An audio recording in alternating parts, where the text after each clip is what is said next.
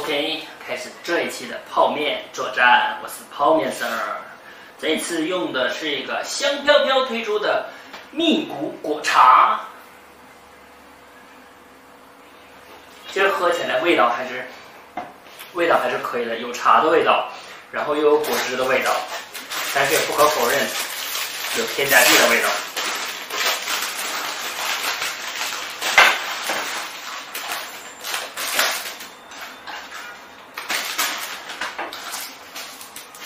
OK，我们开始泡面吧。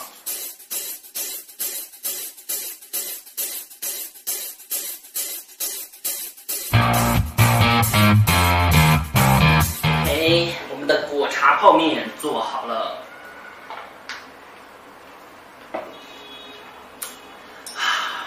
掀起你的盖头来，让我来看看你的美。OK。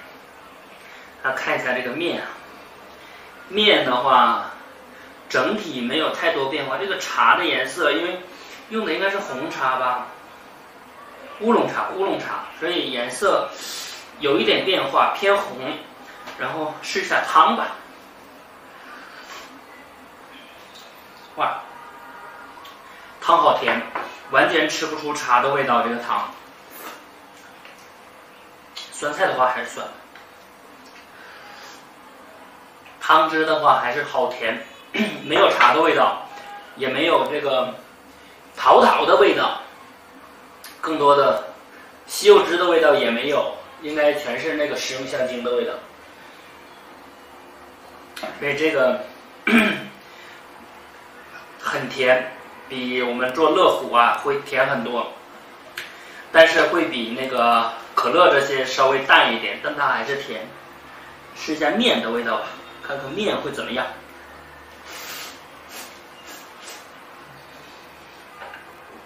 啊，面的口感变化不是很大，有微甜，能吃出来那个呃西柚汁酸酸的味道，但是桃子的味道吃不出来，乌龙茶的味道也没有吃出来。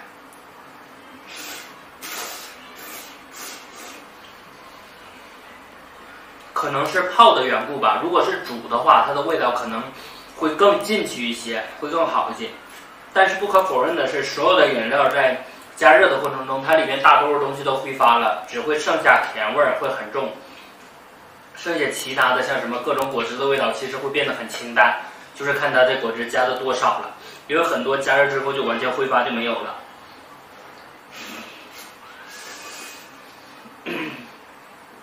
相对于汤来说，这个面还可以，面不是很甜，有一点酸甜的感觉，所以面还是挺好吃的。但是汤确实太甜了，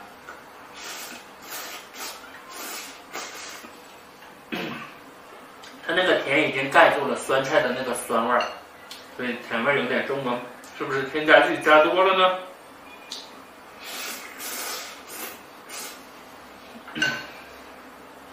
不过饮料还是蛮高颜值的。